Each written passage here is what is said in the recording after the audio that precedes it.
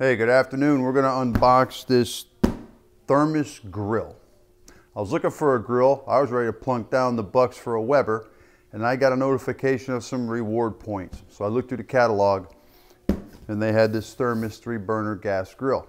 I was like, oh, Thermos is a brand name.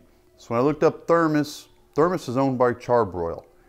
And I had a similar Char-Broil grill. That thing probably lasted five years before it rusted out.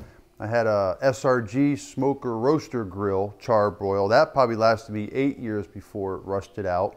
So when I priced this unit, these things run anywhere from 190 to 350, depending on where you buy it. So this was a freebie. Well, not technically. I guess I bought stuff to get the points, but this arrived at my house for free. But since I didn't shell out any cash for this, it's technically free and free shipping. So all I had to do was put a check in the box and it showed up two days later FedEx. So we're gonna unbox this, put it together and see what kind of quality we got.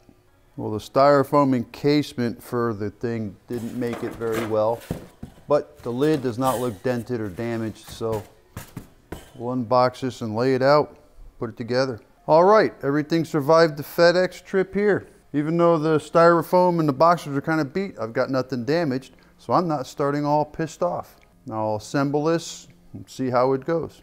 All right, I stopped the timer. I hit a snag. This thing's bent pretty good right here. I didn't see it before. With that thing bent as badly as it is, this piece isn't gonna go on. So we're gonna have to straighten that out. All right, straighten that out as best we could, put it together, screw it together.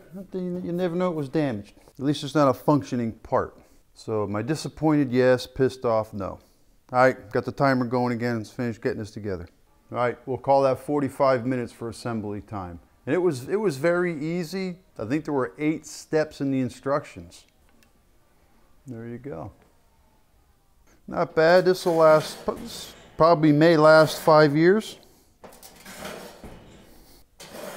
This grill listed anywhere from 190 to $350. The packaging wasn't the best either because once I did get this all together, the grease tray on the bottom is kind of smashed. I straightened all of this out the best I can. It was, it was pretty beat. But still, again, it's kind of cosmetic. So I'm not real concerned about it.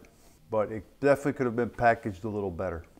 All right, this is a three burner grill, 420 square inches of cooking grate, electric ignition,